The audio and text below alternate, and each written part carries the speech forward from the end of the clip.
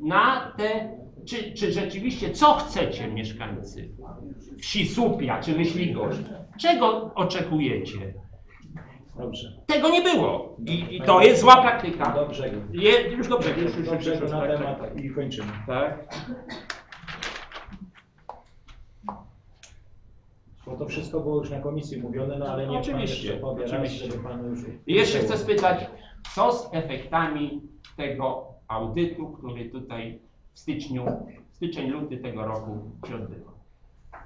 No była odpowiedź Yy, oświata, tak, była, ale ja pytam, pytam yy, Po raz kolejny? po raz kolejny, bo odpowiedzi nie dostałem. na piśmie dostanie Y, pan. Miał, y, tylko oświata pod, że tak powiem, pręgierzem się znalazła oszczędnościowym. Przede wszystkim oświata. Szkoły wiejskie, oczywiście, bo dzieci są słabe. Dzieci można zapakować do autobusu i wozić po całej, po całej gminie. Tak, to tylko oświatę w pierwszej kolejności. Natomiast, natomiast miały być reorganizowane zakłady budżetowe pod nazwą Zakład Wodociągów i Kanalizacji i Zakład Gospodarki Komunalnej i Mieszkaniowej. To nie nastąpiło. Ja nie rozumiem tego pana. Bo to nie doszło, czy nie doszło. doszło? To oszczędności. A to, to przepraszam, to tak? przepraszam, że ja w ogóle Na poruszam ten oszczędności temat. Tak, tak? tak. Dziękuję. Dziękuję bardzo. Przechodzimy do... Aj, przepraszam, Że się zagalopowałem, przepraszam. przeciw. Przechodzimy dalej do procedowania nad naszą sesją. Oddaję głos panu Chyryczowi. Opinia, opinia i wnioski Komisji Finansów Publicznych. Proszę o odczytanie. W dniu 9 grudnia 2016 roku na posiedzeniu Komisji Finansów Publicznych przewodniczących Komisji Stałych Rady Rewizyjnej, Infrastruktury Społecznej, Rozwoju Gospodarczego i Ochrony Środowiska Proszę chwilę jeszcze o spokój.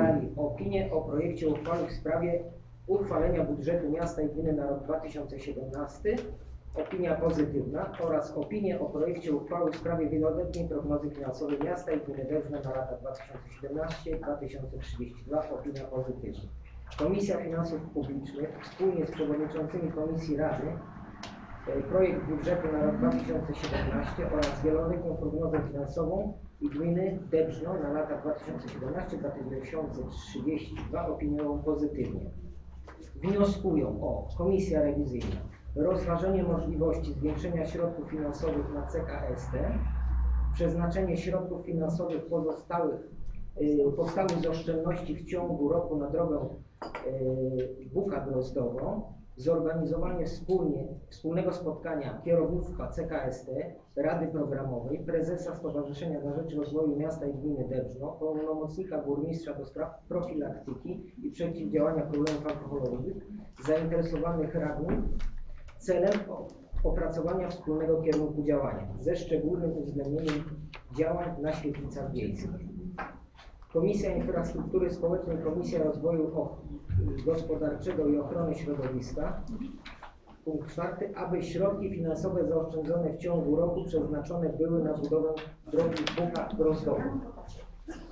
Komisja Finansów Publicznych w razie niewykonania remontu odnowy nawierzchni drogi powiatowej Uniechów Dębrzno wprowadzić do budżetu na rok 2017 zadanie budowa drogi Buka Drozdowo i przeznaczyć część środków z niewykorzystanego zadania, z niewykonanego zadania.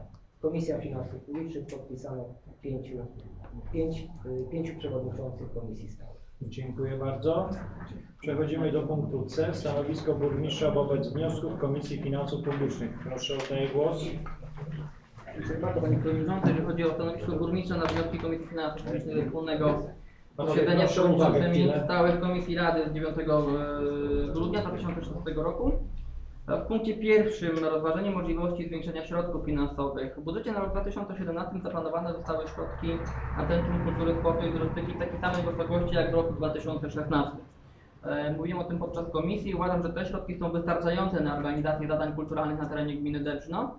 A, a w związku także ze zmianami kadrowymi na stanowisku dyrektora Centrum Kultury uważam, że należy najpierw nowym dyrektorem, który zostanie wyłoniony w drodze konkursu, przeanalizować stan zadań i organizacji Centrum Kultury i ewentualnie wtedy podejmować decyzje mm, finansowe. E, I automatycznie tutaj zawiera się też odpowiedź do punktu trzeciego, czyli zorganizowania wspólnego spotkania kierownictwa Centrum Kultury, Rady Programowej itd. E, Uważam, że ta organizacja tego spotkania jest ściśle powiązana z nowym dyrektorem Centrum Kultury, z tymi zmianami kadrowymi i e, no, obecna dyrektor przebywa na zwolnieniu lekarskim. W przygotowaniu jest konkurs na to stanowisko. W chwili, w chwili wyłonienia dyrektora uważam, że takie spotkanie będzie mm, zasadne i wtedy zostanie ono zorganizowane. Jeżeli chodzi o punkt drugi, czwarty i piąty, czyli przeznaczenie środków finansowych powstałych z oszczędności w ciągu roku na drogę Buka-Drozdowo i aby te środki finansowe zaoszczędzone w ciągu roku przeznaczone były na budowę tej drogi, e, a także w razie niewykonania remontu odnowy nawierzchni drogi powiatowej Uniechów-Dębno wprowadzić do budżetu na 2017 rok zadanie budowa e, drogi Buka-Drozdowo, przeznaczyć część tych środków z niewykonanego zadania. E, O tym też rozmawialiśmy podczas komisji e, i zgodnie z tymi ustaleniami, pod, ustaleniami podjętymi podczas wspólnego posiedzenia Komisji Finansów Publicznych z przewodniczącymi stałych komisji, w przypadku wycofania zadania pod nazwą remont odnowa nawierzchni drogi powiatowej nr 2547G Uniechów Dębno, część tych środków zostanie przeznaczona na nowe zadanie, budowa drogi Buka Zdrodowo, a w dalszym ciągu będziemy również starali się pozyskać e, szukali możliwości pozyskania zewnętrznych środków na budowę tej e, drogi. Taką mamy podczas komisji. Uważam, że to, to, to rozwiązanie jest dobre i satysfakcjonujące, satysfakcjonujące wszystkie e, strony. Więc odnosząc się do tych wniosków, to by było na tyle. Dziękuję. Dziękuję bardzo. Przechodzimy, proszę Państwa. Czy są jakieś pytania, jeszcze uwagi tutaj, bo widzę, że dyskusja zawrzała znowu. Jeżeli tak, to proszę bardzo, kolega radny. Panie Przewodniczący, ja to tak zapytam, Panie, bo tak nie bardzo rozumiem tutaj tą wypowiedź. Chciałem się dopytać, czy mam rozumieć, że te środki, które będą wycofane przykładowo z drogi, które, która nie odbędzie się ta inwestycja w jakieś Dębrzno, jeżeli będą przeoszczędzone te środki, to Buka Drozdowo, ta droga to będzie tych środków robiona wyłącznie? Czy te środki będą zabezpieczone na program, ewentualnie włożenie do czegoś, bo będziemy robili coś za gotówkę? Ja się pytam, dlaczego? Tak jak mówiłem podczas komisji, e, będziemy też starali się pozyskać dofinansowanie z Funduszu Ochrony Gruntów Rolnych i w ramach tej współpracy chcielibyśmy wyłożyć część naszych środków, część tego funduszu. To, co dzieje się do tej pory, przeznaczenia na drogę e, tak? Czyli, Czyli też korzystają z zewnętrznych finansowań, nie tylko za swoje No pieniądze. właśnie chciałbym dopowiedzieć, że, że nie będzie to y, stricte za gotówkę, tylko mamy, mam rozumieć, że będą te środki zabezpieczone na pozyskanie środków zewnętrznych. Na realizację tej inwestycji, droga Buka Drozdowo, ale też z dofinansowaniem zewnętrznym, czyli Funduszem. Ochrony Gruntów Rolnych, tak jak była robiona droga y, chociażby w kierunku Poprzez, gdzie to otrzymaliśmy dofinansowanie. Robiliśmy to częściowo z tych środków zewnętrznych, częściowo ze swoich. W ramach tego, że ta droga jest dość znacznym obciążeniem finansowym i nie stać nas na to, żeby zrobić to y, Etapami. jednym, jednym, e, e, za jednym razem. Robimy to, możemy zrobić to etapami, wykorzystując środki nasze, jak i też środki zewnętrzne. E, Uważam, że to byłoby no, najbardziej zasadne, żeby też szukać tych możliwości. A to też nie tylko Fundusz Ochrony Gruntów, to być może, że kolejne. Mm, Ale na tym etapie tak, te środki, gdyby ta e, inwestycja została wycofana, na drogę e, w pewnej części, bo część też na zmniejszenie zaciąganego zobowiązania, zaciąganych kredytów. Tak? Jeżeli Tak mogę to to. do, do, dopełnię Mhm. to wypowiedź. Dlaczego o tym mówię? Dlatego o tym mówię, bo pamiętam obietnicę pana starosty, który obiecał dofinansować i z chwilą, kiedy my mówimy teraz, że my to zrobimy z środków własnych przyoszczędzonych, to tak ma to się rozumieć, że my sobie zrobimy, a pan mówi, ja to sobie zrobię. Nie pominiemy pana starosty. No, myślę, że tak Wrócimy, bo mamy to nagrane. Wrócimy do tego, co obiecał. Tak, dziękuję bardzo. Mogę Panie? Jeszcze też w, tej Tak. kwestii tylko. Tak, tak. Krzysztof mnie odebrał tutaj. Ja bym No, właśnie- Przepiacie się teraz. Święta idą Nie, panowie. nie, ten projekt. na poważnie. Czy co, że ta droga nie będzie robiona? Tak, nie ma dofinansowania zewnętrznego. Jeżeli nie będzie dofinansowania. Jeżeli nie będzie. Jeżeli Panie Przewodniczący Proszę mogę, to chciałbym tutaj e, powiedzieć, że liczymy tutaj na działalność na, e, operatywność radnych powiatowych, którzy będą też przy- przypominać i wspierać. Wspierać. Wspierać. I, druga, I jeszcze druga rzecz, bo o tym mówiłem też na komisji, Panie Burmistrzu, żeby też e, wejść w kontakt z lasami, bo żeby lasy ewentualnie w tej sprawie, szczególnie drogi Buka Drozdowo pomogły. Dziękuję bardzo. Czy jeszcze ktoś, żeby już tak... Ale to tylko do budżetu to nie da rady. Nie panie- do budżetu, do, do tej drogi Uniechowej. Yy, Proszę pana, to jest związane z budżetem, panie radny, no niestety, w późniejszym czasie tak, teraz już no, no nie możemy, to tylko radni tutaj zabierają głos, bo to stricte ich dotyczy, jak mają głosować. Także przepraszam, będzie punkt oświadczenia, komunikaty i kolega, y, oddam głos koledze. Przechodzimy, proszę Państwa, do punktu następnego, głosowanie nad wnioskiem Komisji Finansów Publicznych. Proszę Państwa, ze względu na to, że przekonsultowałem to z Panem Mecenasem, stwierdził, że głosujemy i tak ma być, mimo tego, że burmistrz będzie realizował, ale skoro jest, trzeba to przegłosować. Kto z Państwa radnych jest za przyjęciem wniosków tych, o których czytał kolega przewodniczący Komisji Finansów Publicznych? Proszę o podniesienie ręki. musi się stać zadość. że tak 13 za. Dziękuję. Y, Proszę Państwa, przechodzimy do punktu E. Głosowanie nad przyjęciem uchwały nr 89 w sprawie uchwalenia budżetu miasta i gminy Dębrzno na rok 2017. Był odczytany, więc przechodzimy, przedyskutowany był, przechodzimy więc do głosowania. Kto z Państwa radnych jest za przyjęciem uchwały nr 89 uchwalenia budżetu miasta i gminy Dębrzno na rok 2017? Proszę o podniesienie ręki. Komisja liczy. Wygląda na to, że 11. 11 za. Dziękuję. Kto się wstrzymał? Dwie osoby się wstrzymały. Dziękuję. Kto jest przeciw? Nie ma. Gratuluję Panie Burmistrzu przyjęcia budżetu. Y, Przechodzimy dalej y, do punktu 11. Odpowiedzi na interpelacje i zapytania radnych oraz przewodniczących jednostek pomocniczych gminy. Oddaję głos Panu Burmistrzowi. Panie Przewodniczący, Panie, Panowie Radni, e, padły pytania od Pana Piotra Sokolskiego, ale w związku z tym, że no, nie da się ich w 5 minut e, udzielić odpowiedzi i uzyskać tych informacji, aby mógł udzielić, mówiliśmy się z Panem Tak, tak. Że informacja ta zostanie dostarczona w późniejszym terminie, a konkretnie e, w przyszłym tygodniu, więc taka informacja będzie w biurze Rady, będzie Pan o tym poinformowany, tak? Dziękuję bardzo. Dziękuję. Przepraszam. już dalej. Przechodzimy, proszę Państwa, do punktu 12. Oświadczenia. I tutaj oddaję głos koledze y, radnemu powiatowemu Zbigniewowi Pydzie, który by chciał oświadczyć. A my później w danym temacie, bo my do tych rzeczy, które były omówione, to będziemy dochodzili zaraz, ale oddaję głos jako pierwszy. Panie Przewodniczący i Panie Burmistrzu, yy, na temat tej drogi naszej uniechowskiej rozmawiałem z Panem Starostą i ja mam wielką prośbę i Pan Starosta też o tym mnie yy, po prostu informował, że prosilibyśmy, żeby te pieniążki nie rezerwować jeszcze na inne cele, tylko zostawić je, bo mówi ze względu nie wiadomo jak przetargi odbędą się tutaj na szczycie województwa. I mogą być pewne oszczędności w stosunku e, w stosunku do, do tych e, innych inwestycji drogowych i wtedy automatycznie, jeśli by tam powstały jakieś oszczędności, to wojewoda czy tam marszałek może przeznaczyć właśnie tutaj na do, pomoc, na dofinansowanie e, tej naszej inwestycji. O takie jest, taka była rozmowa z panem starostą. Także ja bym prosił Wysoką Radę i tutaj pana burmistrza, żeby naprawdę tych pieniążków jeszcze nie przerzucać tam na inne cele, tylko poczekać do wyjaśnienia właśnie tych wszystkich i rozstrzygnięcia wszystkich przetargów. Proszę Państwa, w oświadczeniach chciałbym jeszcze oddać głos y, pani z ODR-u, która nam powie, dopóki są wszyscy sołtysi, dotyczy to większości terenów wiejskich i dalej będziemy zaraz procedować. Proszę bardzo, oddaję Pani głos. Ja mam krótką informację na temat projektu. Pomorski Ośrodek Doradztwa Rolniczego w Lubaniu i Wojewódzki Fundusz Ochrony Środowiska i Gospodarki Wodnej w Gdańsku realizuje projekt tytułem Ograniczenie emisji dwutlenku węgla Gminny System Doradztwa. Realizacja przez Ośrodek Doradztwa Rolniczego Wegania Ograniczenie emisji dwutlenku węgla Gminny System Doradztwa ma na celu poprawę świadomości ekologicznej mieszkańców obszarów wiejskich w zakresie efektywności energetycznej i odnawialnych źródeł energii poprzez angażowanie odbiorców w działania z tego zakresu. Doradcy energetyczni Pomorskiego Ośrodka Doradztwa Rolniczego zapewniają nieodpłatne doradztwo energetyczne w każdej gminie województwa pomorskiego. Zapraszamy mieszkańców obszarów wiejskich, w szczególności rolników oraz przedstawicieli samorządów terytorialnych województwa pomorskiego do korzystania z nieodpłatnych konsultacji w zakresie doboru działań modernizacyjnych i inwestycyjnych poprawiających efektywność wykorzystania energii, prowadzących do zmniejszenia emisji dwutlenku węgla oraz zanieczyszczeń powietrza, a także zwiększania udziału energii pochodzącej z źródeł odnawialnych. Ja rozdałam takie ulotki informacje na temat tego projektu Państwu.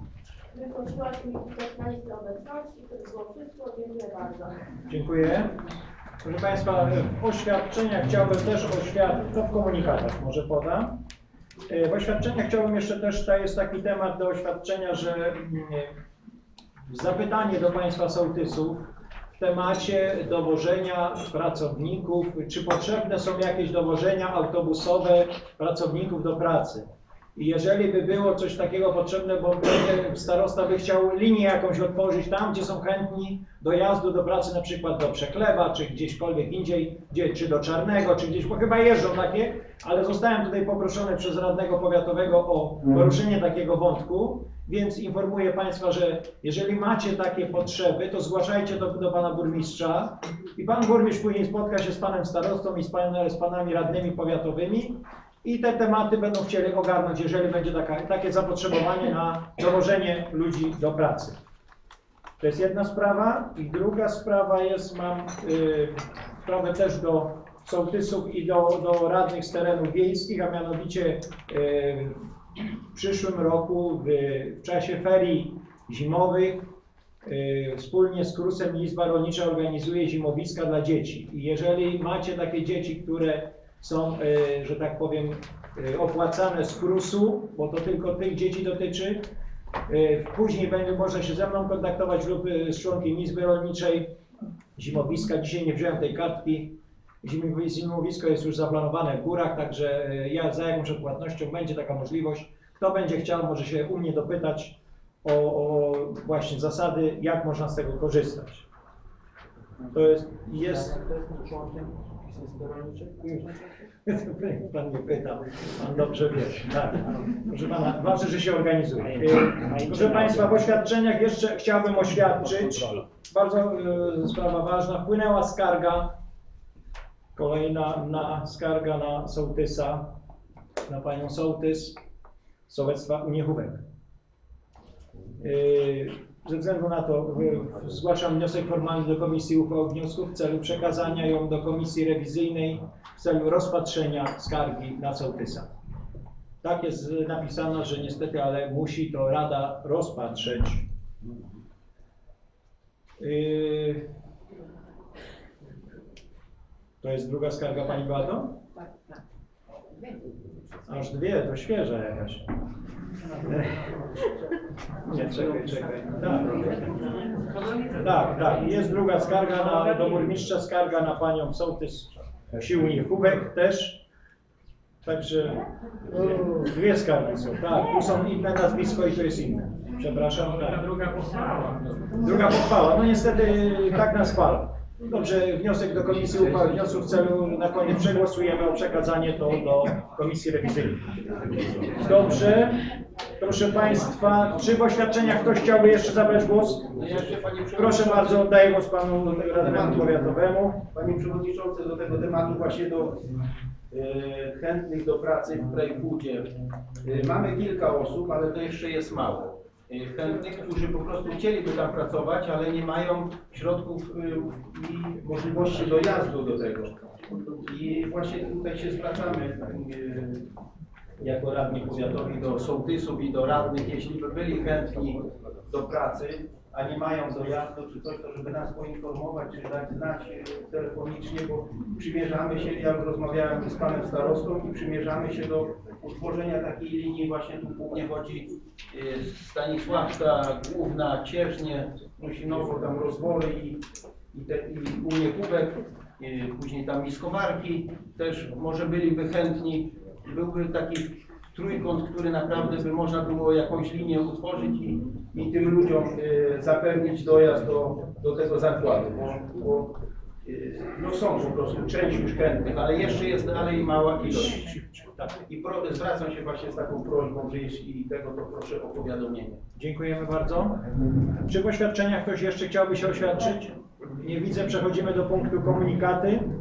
Czy w komunikatach ktoś chciałby zakomunikować? Proszę, y, pan radny Jan Płaczek. Jak zwykle. Nie, nie, nie, nie, zwykle. Y, Proszę Państwa, więc ja chciałbym tak, taki komunikat tutaj podać Państwu. Y, Zakończyliśmy y, teraz ostatnio w grudniu, tydzień temu rozgrywki turniej Sołec rekreacyjno-sportowy.